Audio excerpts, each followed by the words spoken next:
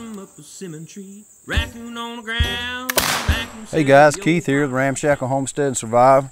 And what I'm gonna do today, I'm definitely not a gun builder or lock tuner or anything of that nature, but I do know a few tips and tricks that'll get you going in the woods and definitely make you probably have a little more successful hunting season. And most of it's just common sense. It's nothing probably most of you guys don't already know, but I figure right here before hunting season, it's a good time to have a refresher on some of this stuff. So stay tuned. All right, so early in the year, and I guess when there's still a little humidity out, and it's here in Ohio River Valley, and it's always humid, you see a lot of guys have all these black stains on their shirts, and that's from wiping your pan off. I mean, I'm constantly wiping my pan off, or wiping my frizzen off rather, wiping my pan out, pulling all the moisture out of it because just after that one shot you'll see how it gets that little funk to it so you you know every couple shots definitely while I'm out in the field I'm wiping that out keeping it dry. And on the subject of moisture just in general when I'm out hunting I use a greasy knee a lot and you guys have seen these it's just a piece of leather made with a little couple little ties.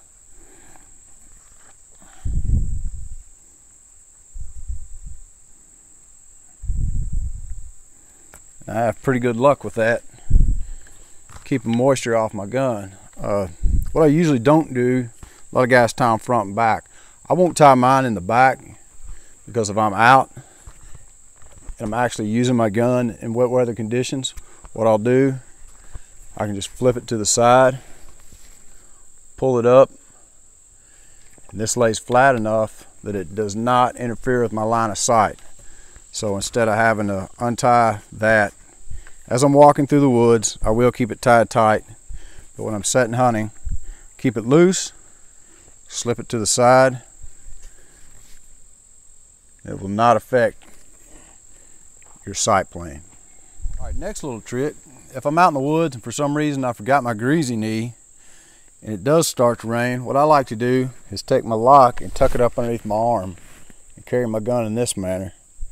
And that'll provide a pretty good amount of uh, rain, moisture resistance. It's not going to be as good as a greasy knee, of course, but it definitely beats walking around with it out here where all the moisture is going to run down. So try to keep it tucked up underneath your armpit it'll stay a little warmer and hopefully quite a bit drier as you're out moving around in wet weather.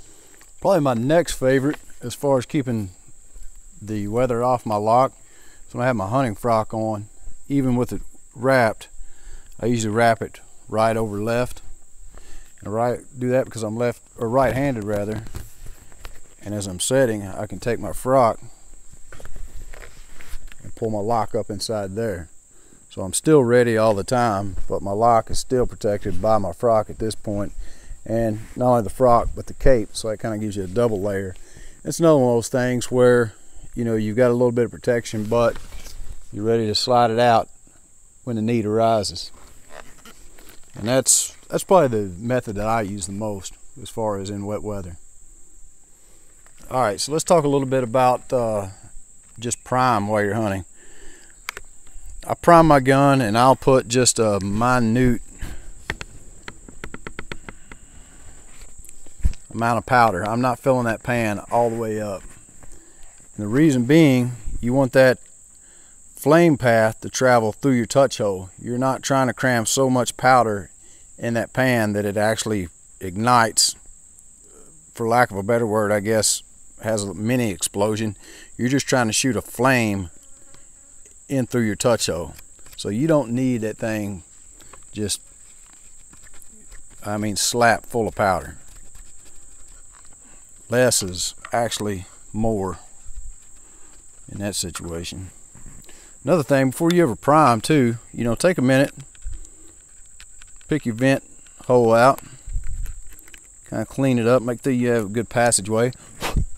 And I'll do that every time and then go ahead and Again, wipe everything down. Now, when I'm out in the woods, what I'll do, uh, about every 10 or 15 minutes, depending on the weather a lot, maybe sometimes three times an hour, you know, I'm going to be sitting there hunting, hunting, hunting. Uh, I'll go ahead, flip open, dust all my prime out. I'll reprime about every 15 minutes, you know, somewhere in there.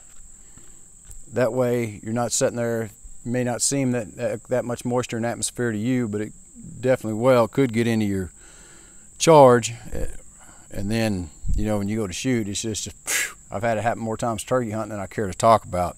So I did get into that habit of every 15, sometimes 20 minutes, 10 minutes, just depending on the weather, I'll dump that prime out. A lot of times I'll pick it and prime back up and set for another 10 or 15 minutes. Um,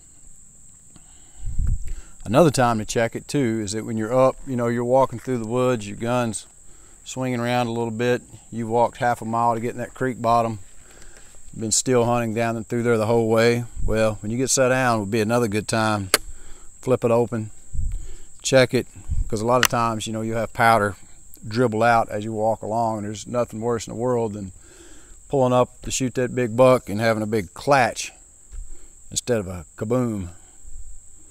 And that is a habit definitely I've gotten into with turkey hunting because you can't have a fast enough ignition when you're out in the spring turkey woods. Good habit to get into during camp or even at home if you're going to leave a flintlock loaded is to stick a feather or a whittle your little stick stick through the touch hole. That's kind of an indication to folks that the gun is loaded. And also, as it uh, changes from day to night or night to day, the temperature changes, that'll leave your vent hole a little more open and not give it as much a chance to gum up, depending on the humidity and what the weather's doing. I also, almost during hunting season, never, never bring my gun indoors. I will leave it loaded and let it sit out in the shop. And that way it stays the same ambient temperature as the uh, atmosphere that I'll be hunting.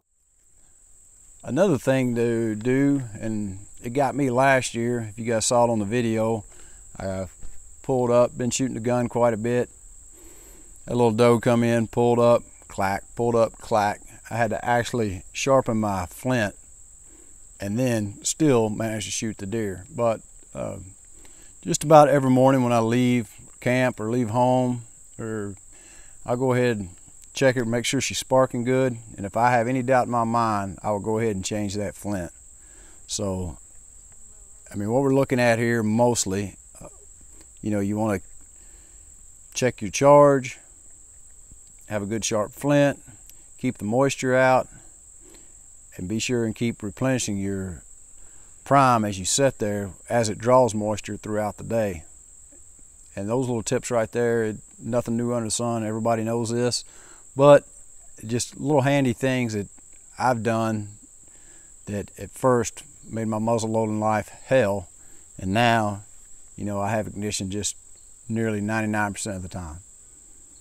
So if you like this video, guys, please check us out and uh, over on Facebook and Instagram and hit that uh, like button and give us a subscribe.